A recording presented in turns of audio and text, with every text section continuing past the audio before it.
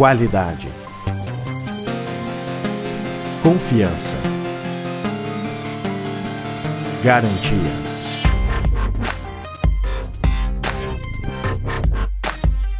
Maninho Car, o seu veículo está aqui.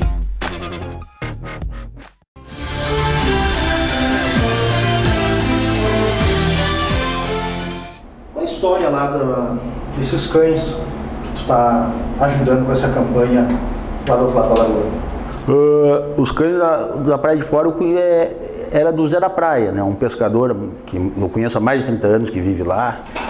E sempre viveu da pesca artesanal, né? nunca teve família e coisa. E com os cachorros dele lá. Tu fez amizade com ele? Isso, sou amigo dele há muito tempo. Sempre ia lá quando ele morava aí, né? Ajudava, levava comida para ele. Então a gente já tinha uma amizade de longa data, né? E agora, o que, que aconteceu que esses cães estão sozinhos? Uh, de um tempo para cá o Zé adoeceu, né? E não teve mais condições de viver lá, né? Então teve que vir embora, teve que até teve um AVC, foi para a mão lá para o irmão dele se tratar e não pôde mais voltar. E os cães acabaram ficando lá, né? E quantos cães tem lá hoje? Hoje eles têm cinco cães machos, né? Cinco machos. Cinco machos, é. E as fêmeas? As fêmeas tinha umas fêmeas, mas a ONG Amigos do Bem ah, buscaram elas e castraram e, e doaram as cadelas, né? Sei. Ficando só os cachorros. Aí pelo menos controlou. E o pessoal que quiser ajudar, como é que pode fazer?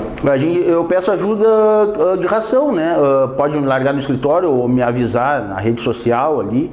Pelo ou Facebook? pelo Facebook, ou me ligar para mim, nove- o 91272291, que eu posso buscar em casa mesmo, não tem problema nenhum. Certo. E eu, eu peço ração até certo, uma certa quantia tá? que, que dê. Aí eu paro, porque eu não quero. Eu, eu deixo lá a ração, então eu não gosto de levar muito, deixar muita ração lá. Sim.